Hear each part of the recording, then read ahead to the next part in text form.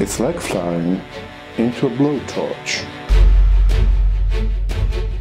In the years following the Second World War, at what was then the Muroc airfield, which is known today as the Edwards Air Force Base, a group of visionary scientists and war-hardened military men started one of the great scientific quests of all time the quest for speed.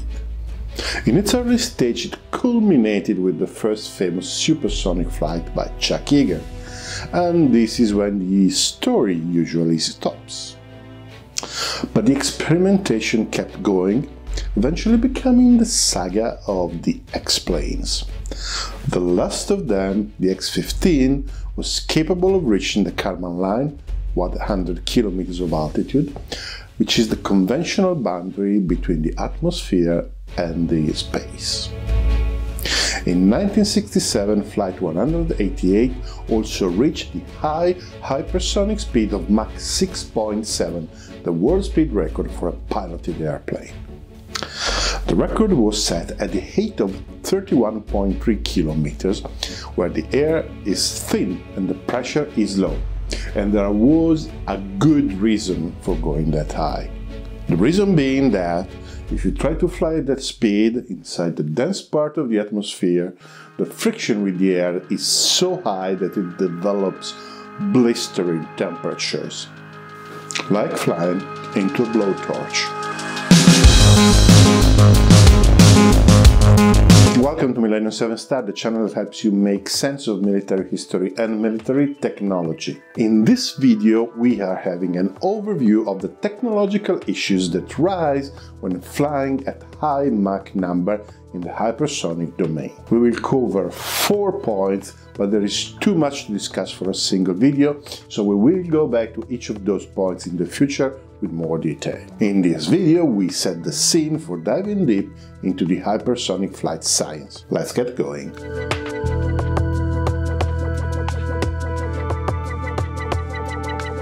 The main problem of hypersonic flight is obviously heat. An hypersonic weapon may easily find itself operating around 2000 Kelvin. It is easy to understand how such high temperatures are challenging for the material used to build the weapon. Some materials will simply melt, others will lose their structural properties and become too fragile to bear the loads of flight. The heat is produced by two basic mechanisms.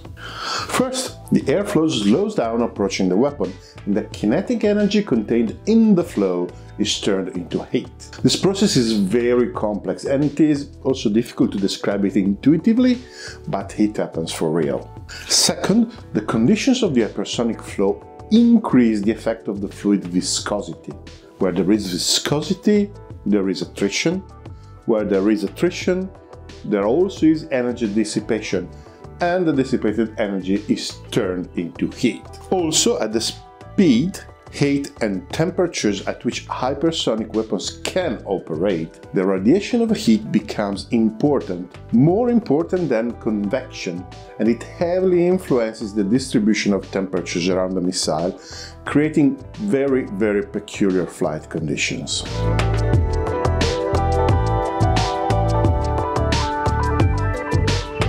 Everything that flies has to be stable and controllable. A missile is stable if, left to its own devices, with no external inputs, it doesn't deviate from the straight horizontal trajectory. It is controllable if, by doing something like moving an aerodynamic surface or orienting a nozzle, we can change the missile trajectory in a predictable way.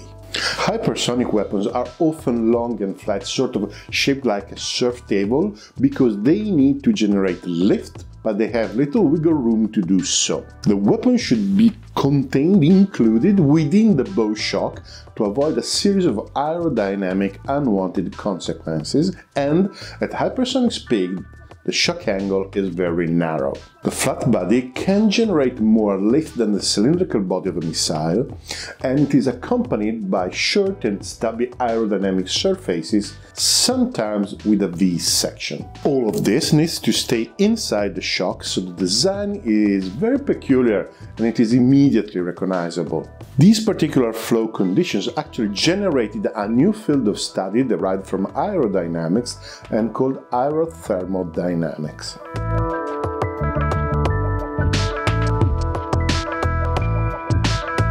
With the temperatures involved in the hypersonic flight, it is natural that a sheet of plasma is forming around the weapon. Plasma can screen the weapon from radio waves, making radar guidance or data links very difficult to introduce. There are different approaches possible to overcome this issue, and it indeed it has been done. However, it is a further complexity in an already complex field.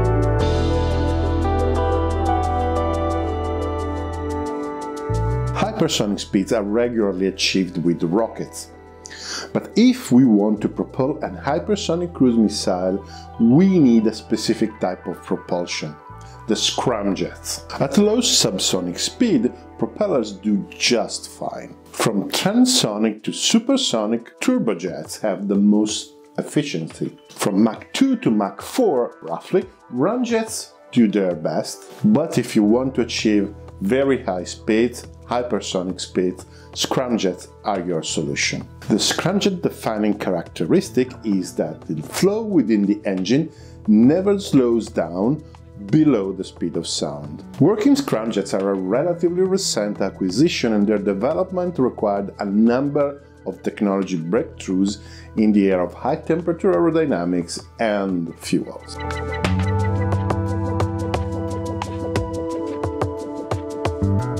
So, to understand hypersonic weapons, we have to understand a wide range of technologies, and it is no surprise that only the most advanced countries can build anything in this area. If you like this video, you might like these ones beside me that cover similar subject from an unusual point of view. Please subscribe, hit the bell, ask me anything and if you really love my work please consider supporting me on Patreon or Subscribestar. Thank you very very much for watching, goodbye.